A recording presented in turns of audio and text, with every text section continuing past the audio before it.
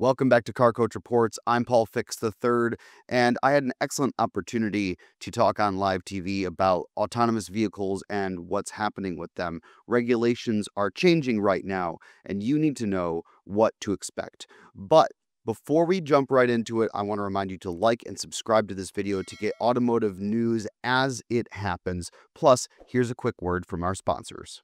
Maybe you've heard of collagen and its benefits, but you haven't tried it yet. Here's why you should. Collagen is a unique protein that naturally declines as we age, and you can improve your levels significantly by boosting your bone strength and soothing joint pain. And it minimizes wrinkles and cellulite, enhances hair follicle thickness, and even helps reverse nail damage. I started seeing changes in just a few weeks. For my viewers, there's an incredible deal available offering up to 45% off this bone, joint, and ligament restoring formula. Just head over to getnativepathcollagen.com slash Lauren. That's getnativepathcollagen.com slash Lauren for that special 45% off and free shipping. The Department of Transportation said Thursday it would ease some safety regulations for the development of self-driving vehicles. The move aims to help the U.S. maintain dominance in the industry globally. And the Transportation Secretary specifically said slashing red tape would help the U.S. in the innovation race with China. Joining us to discuss is Paul Fix III, Car Coach Reports automotive journalist. Good to see you this morning, Paul. The move outlines a couple of changes, which are most significant to you at this time. What stands out yeah, to absolutely. you? Absolutely. there's a, there's a lot of red tape going on when it comes to autonomous vehicles because there's a lot of factors that people haven't really considered for a long time. First of all, I would say before we dig into the actual regulations, the technology is not ready yet. Um, there's five levels of autonomous driving, and right now the average vehicle is at level two, which means almost everything's in development. So right now it's a technological war to get to level five first. So just briefly, level two means that it still requires driver intervention. Level three is um, what Mercedes is working on right now, which means the car is one step closer to actually driving itself. It has some amount of intelligence. Level four, the car completely drives itself without any driver intervention needed, but you still have a steering wheel and pedals. And level five is no steering wheel and pedals, like a like an amusement ride. So just so we understand where we are at first, we are very far away from actual autonomous driving. But the regulations that were taken down, there's a lot of safety concerns and uh, technological requirements from the government. And if you're importing an autonomous car, then there's actually less regulation for you than if you're building it domestically and so by taking away some of uh, some of these regulations, some of them are very nitpicky. You know, a subsection of a, of a law that was put in with you know some other bill, and it, it becomes very uh, granular. But the high level is by taking away some of this regulation and red tape, allowing American companies to develop the autonomous vehicles here uh, with a little bit less restriction, we might actually be able to catch up to some of our competitors around the world. And Waymo is a great example. Volkswagen happens to be working with them, and they're producing it here in the US. And they're testing them in places like Los Angeles and Arizona. So there's already a lot of development going on actually on the street and in certain cities, like I mentioned in Arizona and, and in Los Angeles. You can get a taxi ride in a fully autonomous vehicle, well, mostly autonomous vehicle. Yeah, so with everything that you've laid out right now and most, um, most of these vehicles being at level two at the moment in the US, how safe or dangerous are they right now?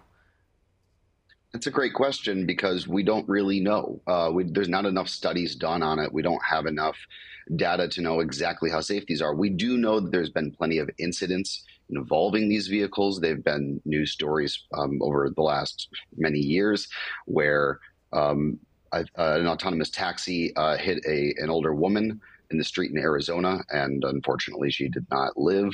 Um, it's hit dogs. It's uh, been stuck in the street. So uh, I've heard stories of people in New York City that don't like the autonomous vehicles. They'll put a cone on the hood, and the car will freak out. Doesn't know what it's supposed to do. The sensors are going uh, everywhere because it thinks that it's hit something, so it doesn't move at all and just sits in the middle of traffic.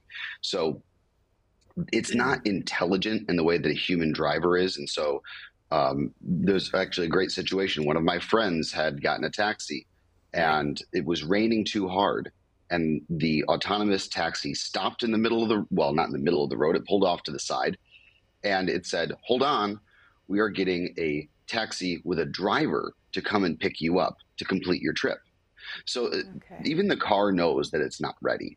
And, and wow, so fascinating. when you're talking about snow and rain and uh, wind or really bad traffic or bad roads or roads with um, lines that aren't painted very well, the, these cars, unfortunately, they just don't um, they don't perform to the level that we expect them to. So I think we're still a long way. And Paul, just in the last 30 seconds that we have, considering these issues and the uh, the records so far of some crashes and, as you mentioned, one fatality. Uh, who's liable here when there's nobody driving? When it comes to the law, how do we parse that out? It's like you read my mind. That was the next thing. So, um, insurance companies have no idea what to do here. And the liability comes down to, I guess, what the manufacturers decide is the best course of action here because um, there's no regulation at all for who's actually liable. There's no standard for um, if you are you're coming up to a street crossing and there's somebody in the way, and so the car has to determine: do I hit the brakes or do I turn into a, a wall or another car? And and there's no standardization here. And as we as we develop more over time, we'll figure that out. But right now, insurance companies don't want to have much to do with this. It's too expensive. The, li- the liability would be caught up in court for years. So right now it's kind of up in the air, but we'll figure out where it goes when uh, we take another step towards level three, level four. Watching all this closely. Thank you so much for your, coming on today. Paul Fix the Third. Good to speak with you. Thanks. Now, unfortunately, what I did not get to mention in that interview was that hacking is also a really big issue. With the skills of hackers going up every day, hacker groups, hacktivist groups, and the lack of security on these vehicles, the chances that somebody could hack into your vehicle is actually pretty good. Now, that doesn't mean that they're going to target you directly. That doesn't mean that you individually are at risk, but it does mean that there's always the possibility that you could randomly be chosen, or if you are being targeted, it's not very hard to hack into a vehicle. There's already been plenty of instances of this happening. We've talked about it on the channel before, where there have been a, a Jeep that was uh, hacked remotely. Somebody was able to uh, start a Kia without even unlocking the door. Uh, situations like not not something so dramatic like in the Fast and Furious movie where the cars are driving out of the uh, parking garage, but with a fully autonomous system, if a hacker is good enough, this is something that could actually happen down the line. There's so much movement on trying to get the technology up to speed and as advanced as possible without thinking about the privacy and security concerns, especially when already as it is, your car is listening to you and sending all of that data back to the manufacturers, the insurance companies, and anybody else who has a hand in the development of that technology. We've also talked about that before on this channel. So I, I wanted to kind of wrap up that whole autonomous vehicle conversation in saying this is not something that's happening anytime soon. There are still some things we need to be concerned about, and we are tracking it anytime that there's an update. And so, if this law changes and there actually is some movement on new autonomous vehicles coming to market and being tested, then we'll tell you about that as it happens. Um, the most recent news that we did hear on that front is Volkswagen buses, uh, the new ID Buzz, all electric, uh, inspired by the old bus from the uh, 70s and, and famous from the 70s. Um, they're working with Uber to make fully autonomous uh, taxis.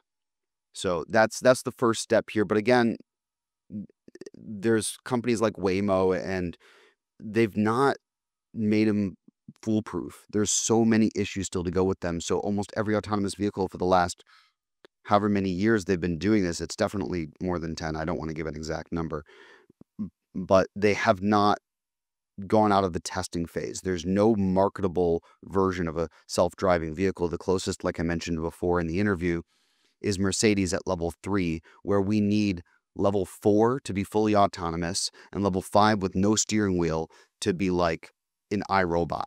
If you've watched that movie with Will Smith, where the cars all just drive themselves, no steering wheel. So that's what's going on here in your automotive world. Thank you so much for uh, keeping up with us. And if you like this video, like, subscribe, share. Links for everything is down below if you want to check out our podcast, Lauren's book, and everything else that we're doing on the internet. You can follow me at PaulFix3. I primarily post on Instagram, and we look forward to seeing you next time. Thanks for watching.